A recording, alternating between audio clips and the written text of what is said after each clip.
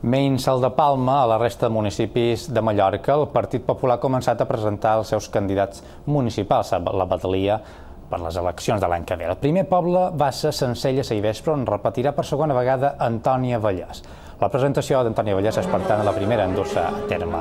La candidata al se va remarcar la necessitat de dur a terme polítiques d'austeritat i estalvi dins el consistori. Durant l'acte, José Ramon Bausat declara, declarar que els candidats als municipis estan gairebé decidits. Ja, ja obrim, ara jo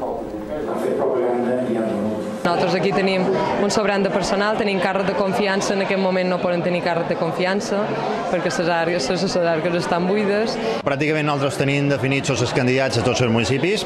El que volem fer és una presentació específica a cada un d'ells i la farem a lo llarg de, començant ja mateix, avui en Sencelles, fins aproximadament mitjà del mes de novembre,